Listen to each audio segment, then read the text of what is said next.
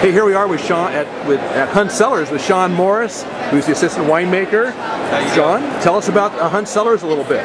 Uh, Hunt Cellars, uh, we uh, like to uh, do Bordeaux style uh, wines. Yeah. We do everything from Zinfandel to Cabernets, uh, white wines. Um, we have one of the highest mountain spots on the east side of Paso Robles, actually right before the mountains of Shandon. real sandy soils that make for real good structured wines. Um, we use all rotaries at our winery, so we get big extraction out of our fruit. Basically, take all the red meat off the bones. Um, and uh, yeah, we uh, we definitely do real handcrafted small batches. Great. Well, Hunt Cellars has got some nice brands. You've got a beautiful uh, label there. Tell us about your tasting room a little bit. Where's that located? The tasting room is on 46 West. Um, it's a, a, small little uh, old farmhouse, and it gives kind of a cozy feel.